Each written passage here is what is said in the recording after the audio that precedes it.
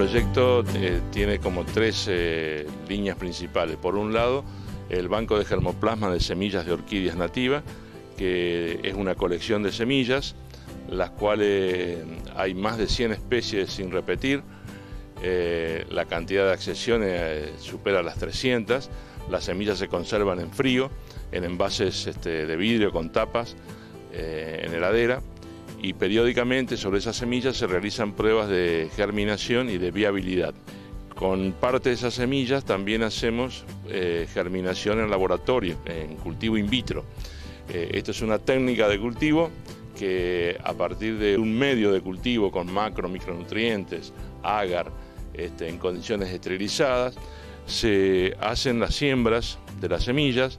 Bajo esas condiciones de cultivo in vitro, primero aparece un protocormo, que es un pequeño punto verde, y luego este, a partir de, esos puntitos verdes se empiezan a desarrollar las hojas y las raíces. Las plantas eh, están de un año a un año y cuatro meses o cinco meses en cultivo hasta que se obtiene una planta de 3 a 5 centímetros de altura con sus raíces desarrolladas y en esas condiciones se puede pasar a la otra etapa que es la etapa de aclimatación. Esa etapa de aclimatación lleva eh, unas dos semanas en laboratorio en una cámara húmeda eh, porque el cambio de la planta es muy brusco de las condiciones controladas a la condición sin control ambiente. Eh, luego pasan al, invernáculo también con media sombra, con riego controlado.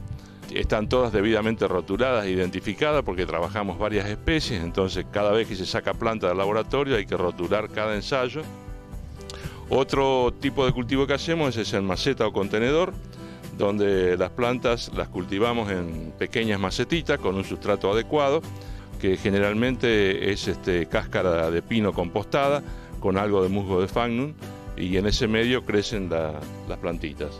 Bueno, este, otra de las actividades sustantivas del proyecto de todo proyecto de investigación es la publicación de sus resultados. Y eh, como otra forma de difundir la, lo que se hace en el marco del proyecto. El año pasado organizamos un curso de introducción al cultivo de orquídeas. También eh, el año pasado eh, comenzamos el desarrollo de una página web institucional. Allí hemos volcado toda la información técnica que ha generado el proyecto durante cinco años de ejecución.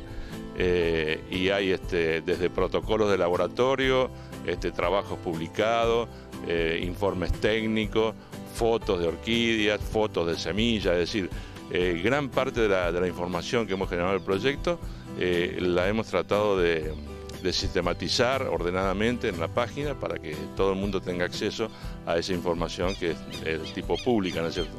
Normalmente todas las páginas de orquídeas muestran fotos de orquídeas este, y, llenan la página de fotos. Nosotros tenemos muy poquitas fotos y mucha información técnica. es un enfoque distinto.